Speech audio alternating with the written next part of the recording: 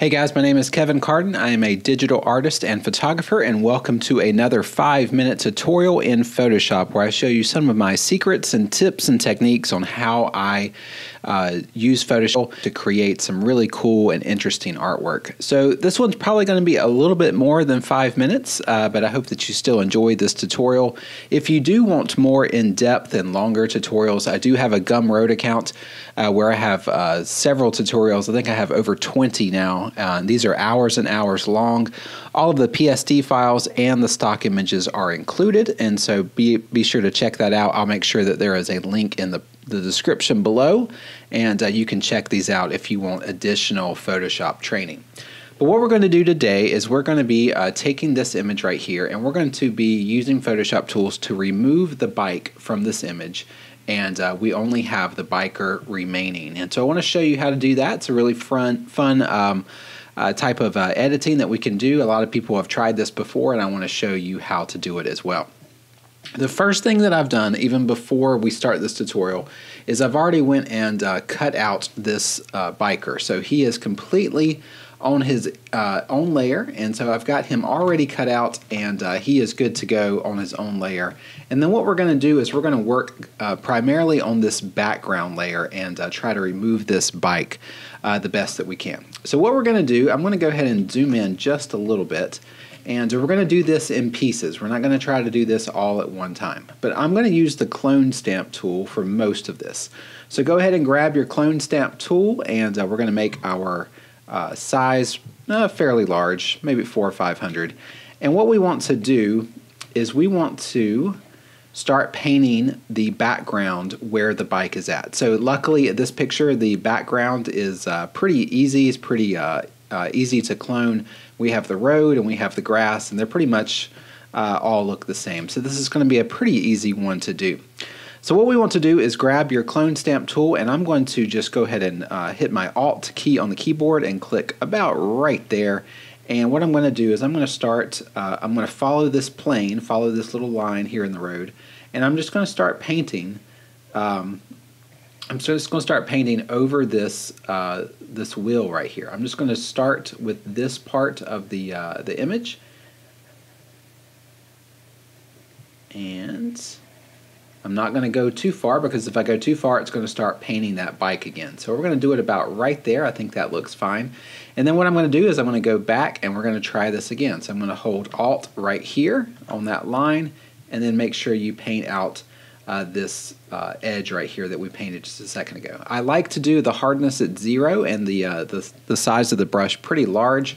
Uh, that way you can uh, have very nice and feathered edges going on here. Let's go ahead and go down to the bottom part. Let's get this little line on here and we want to just follow follow that track, follow that plane. And that looks pretty good right there. And let's go up here and what we want to do for this little top part is just get this part of the road and just get rid of that part of the bike there. And then what this is going to be like is this essentially you're going to be painting. You're essentially painting over uh, the, the background in several different steps. I'm going to change my flow uh, a little bit lower uh, but what I'm doing is I'm just I keep sampling part of the background and then painting over top of it. So for example, once we get here to the middle part of the bike, I'm just going to sample right here, and then I'm just going to paint that road right there where the bike was at, all the way down here. And then when it starts to mess up and you start painting a little bit too much, we're going to stop and then we're going to going to reset and do it again. So again, I'm going to take this part right here of the road and then kind of paint this part underneath the hands and the arms.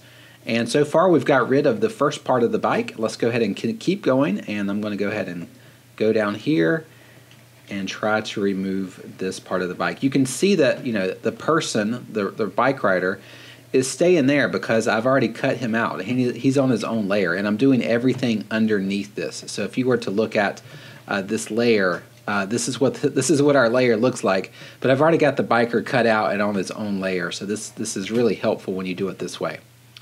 So continue to hit your Alt key and just a sample part of the uh, the background and just paint over uh, where the bike is at. It's going to take a little bit of practice, uh, but I do recommend staying on that same plane uh, when you do this, and uh, that's going to help make everything look a little bit better. So when I go down here to these lines, make sure that you stay in that line, and then we will paint this out the best that we can. All right, when we get up here to the top part of this bike, I'm actually going to go up here to the grass. I'm going to sample this part of the, uh, the sidewalk that touches the grass, and I'm going to kind of continue on this line and paint that grass and that road right there. I'm going to stop when I get about right here because we're starting to paint that bike again. And then just go and just fix uh, the edges that don't look exactly right. Same thing, I'm going to uh, get this sidewalk of the grass and then bring it over here so make sure that line matches up and then just do this. There we go. You can see that I painted part of this guy right up here, so let's go ahead and work on him. Let's do a Alt right here on this grass and then just paint up like that and now he is gone. All right, let's see how it looks so far. Looks so it looks good. Uh, we do have the edge of the seat that he's sitting on, so let's go ahead and fix that. I'm just going to do a Alt right here on this little edge of the grass and road and just paint right there. That looks fine. And it looks like it got part of that tarp as well. So let's go ahead and fix that. I'm going to grab this part of the fence and then just go up like this. Okay, I think that looks good. All right, did we get all of the bike? That's the main thing we want to look at. Did we get rid of every part of the bike? We did. Okay, so that was the easy part. Luckily, that was the easy part. Now let me show you how to do the little bit more complicated parts. And again, just like all these tutorials, I would spend a lot more time doing this. I wouldn't rush through it. I would want to get it right. I just want to show you my process. So first of all, we've got the background removed. That looks good. Uh, there's a, a, few little issues down here that we can fix real quick. Uh, but for the most part, it looks good. But here are the other issues. Anytime you want to remove something in Photoshop, like a bicycle, uh, or anything that's being obstructed, you're going to see some issues right here. So we look here, like on this knee, you see that there is uh, part of the bike that is covering up the knee, and then you look at the uh, the arm, the uh, I'm sorry, the the leg right here, the sock. You can see another part of this bike is covering the sock, and then you have part of the wheel is also covering his shoe. And so those are little those are little issues right there that you have to think about when you look at your original picture. If there is too much that's being obstructed uh, by this object, it's going to make it a little bit trickier, uh, but that's okay. I'm going to show you how to fix this real quick. So what we want to do to uh, get rid of this uh, bar of the bike on his knee, what I'm going to do is I'm going to con uh, Control J on the keyboard on the biker image. So that really just makes a copy of the biker image. And that's just because if I mess up, I want to go back and have a uh, another copy. But then what I'm going to do is I'm going to control click this biker copy, control click. Now I have all these marching ants going on. And now what that means is the only thing that I work on is going to stay in this selection. So what I'm going to do is I'm going to grab uh, part of this uh, person's leg, like right there, this, this kind of uh, brown color right here, and I'm just going to paint right here over top of this bar. Make sure you don't go over his other leg though, because that's going to look a little bit weird. Uh, so make sure that you just paint over where the bar is at, and something like that looks pretty good. If you zoom in, you're going to see a little bit of uh, issues here, but it, when you're zoomed out, you really can't tell. So that's what it looks like zoomed out, and uh, we've got rid of that. Now let's go down to the sock. Now the sock, this is what I would actually do. I wouldn't try to clone that out. This sock is mostly black, so what I would do is I would just get like a black color and get my brush, my brush tool, and just paint black on this. If you've got a black sock, just paint black on it. You know, don't don't try to do too much here. Just paint black. Sample the colors uh, on the sock and just paint it, and there you go. Now we have a nice little uh, black sock. We got rid of some of the you know the little logos on there, but that that's perfectly okay. All right, the last thing we want to do, we've got the sock, we got the knee. The last thing we want to do is work on this shoe. So the other shoe is completely obstructed by that wheel, and so that's kind of tricky. And so here is going to be my technique. I'm going to select his other sock and shoe. I'm just going to do this right here. I'm going to copy and paste that, and so now I have that on its own layer. And I'm going to go up here and just rotate his right shoe and I'm going to put it back where his left shoe is. I'm going to kind of try to match it up as best as I can Maybe make it just slightly smaller since it's further away from the camera, but not too much smaller. Kind of like that. I'm going to put it right there, and uh, then what I'm going to do is I'm going to go to my biker layer, and then of course we need to remove uh, that piece of shoe that we had earlier. So let's go ahead and just uh, mask out uh, that part of that shoe right there. There we go.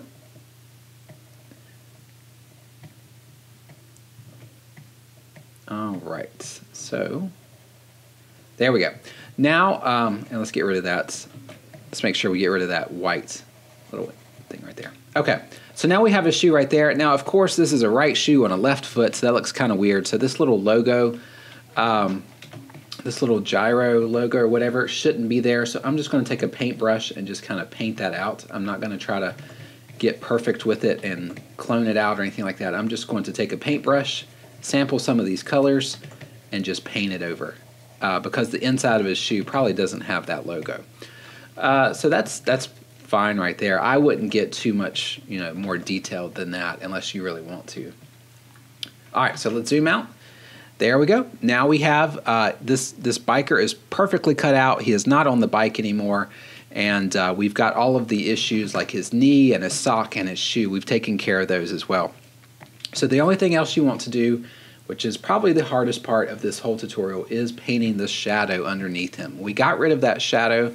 If you remember, when we look at the original image, you see this shadow right here. It's right underneath him, and this is the shadow of the bike and uh, of himself as well. I'm not going to try to uh, copy that shadow or anything like that. I'm just going to create a brand new shadow. I'm going to get a multiply blend mode and just get a, a nice uh, medium gray color here.